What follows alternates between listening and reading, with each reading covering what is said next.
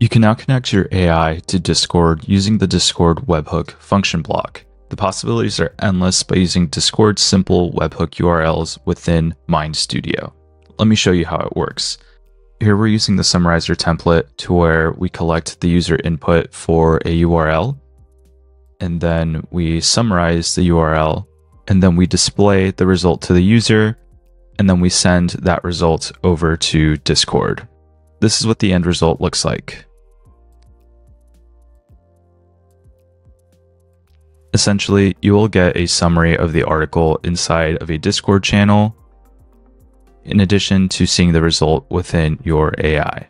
Let's build this together. We're to head to My AIs inside of MindStudio, go ahead and create a new AI. We're going to head to the prompt section and start with one of our templates. We're going to use the summarizer template. Go ahead and import Here's your prompt. Feel free to adjust if need be. Go over to automations. And for this send message block, what we're going to do is go to the message settings and assign this message to a variable. We're going to call this result since this is the result that we're looking for.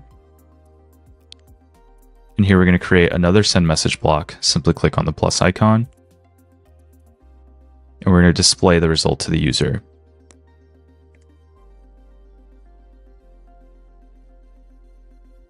If you don't do this step, your AI is going to not work properly on the front end, but it'll still send the results over to Discord's function block.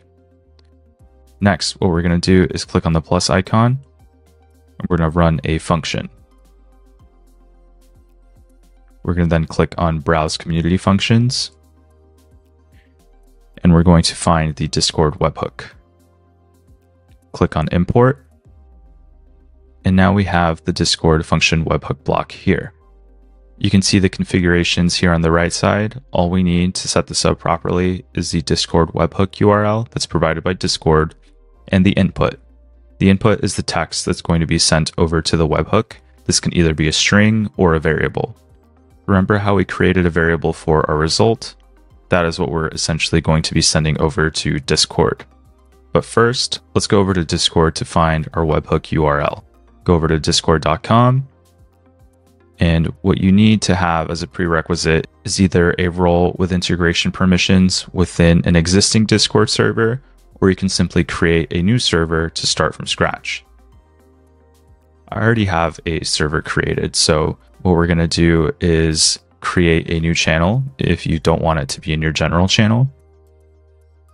We're going to call this article summary. And then what we're going to do is hit the settings icon here to edit the channel. Going to head to integrations on the left side. And what we want to do is create a webhook URL for us to use within MindStudio. Click on create webhook on the right side. And it'll automatically create a webhook for you. We're going to click inside of it and here you can change the name of your webhook, but the way to integrate this into MindStudio is by simply copying the webhook URL. You simply hit the button here. Now it's copied. Go back to MindStudio. Paste the Discord webhook URL within the configuration. And that's it. We're going to go back to Discord, hit escape, and here we have our channel. Let's make sure that the Discord webhook URL was added successfully and is working properly with Discord. We're going to go back to MindStudio. We're going to open up the functions folder. Click on Discord webhook.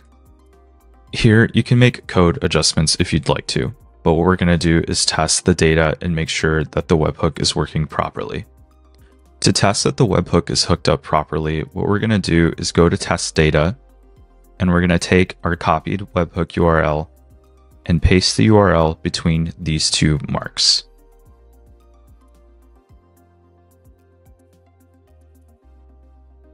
It should look something like this.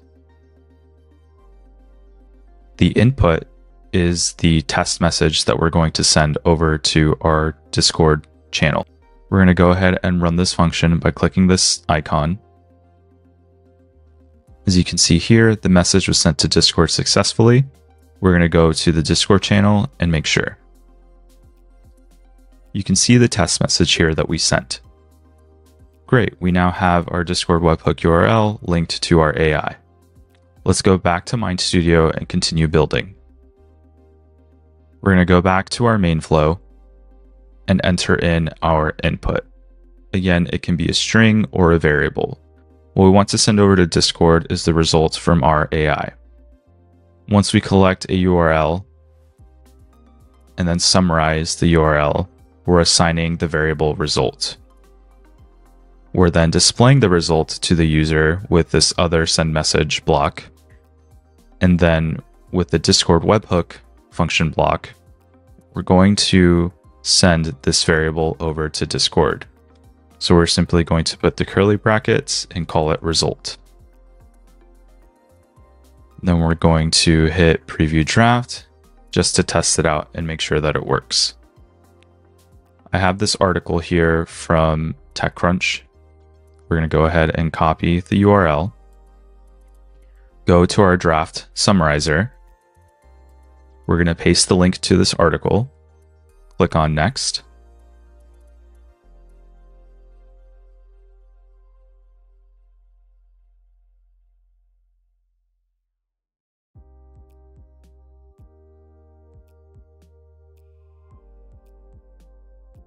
And now we have here our article summary, not only in the AI itself, but also in our Discord channel called Article Summaries.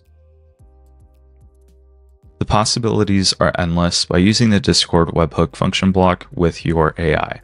For example, you can send a message to a dedicated channel when you get a new user of your AI. Or, as shown in this tutorial, we can send your URL summaries to a dedicated channel on Discord. And another use case is that you can send your blog posts to a dedicated channel on Discord for use in the future.